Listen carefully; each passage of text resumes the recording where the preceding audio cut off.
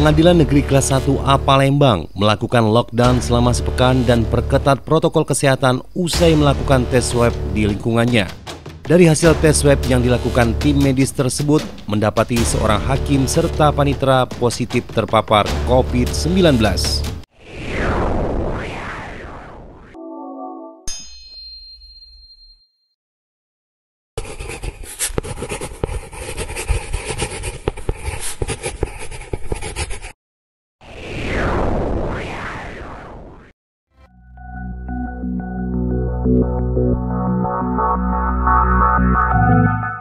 Terhitung kemarin hingga sepekan ke depan, aktivitas di Pengadilan Negeri Kelas 1 Palembang dibatasi sementara.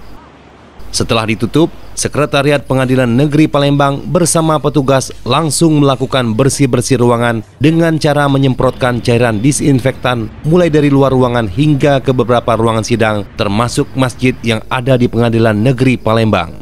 Sekretaris Pengadilan Negeri Palembang membenarkan jika Pengadilan Negeri Palembang lockdown terhitung hari ini Langkah itu dilakukan setelah adanya hasil tes swab dan ada dua orang yang positif terpapar COVID-19. Setelah, uh, setelah lockdown yang pertama, kemudian kita melakukan swab lagi, mm-hmm. ternyata ada uh, uh, dua orang karyawan kita yang terpapar dan positif uh, virus, sehingga uh, pimpinan atas uh, saran dan juga uh, izin dari pengadilan tinggi yang menyatakan bahwa PN Palembang itu uh, di lockdown. Mm-hmm. Uh, kegiatan kita adalah melakukan uh, untuk antisipasi juga uh, untuk pencegahan kita melakukan uh, penyemprotan disinfektan.